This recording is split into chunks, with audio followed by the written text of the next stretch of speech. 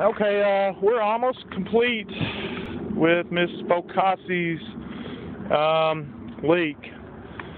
Uh, basically what we did was we removed all the shingles from the flat and we put down what is called APP torch down, um, better known as rubber in Philadelphia, in which it doesn't have any rubber in it. I don't know why they call it rubber. rubber.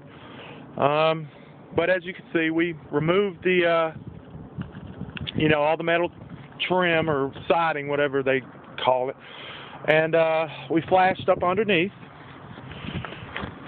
and we ran our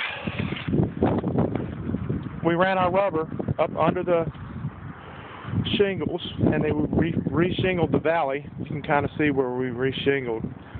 Um, we also fixed the neighbor's leak, which is underneath this material right here.